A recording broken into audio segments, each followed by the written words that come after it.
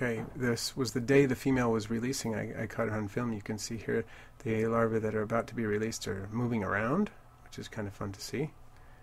And then here's a shot of some of them after they've been released, eight or ten of them floating around in the water column. And here's a close-up so you can see what they look like.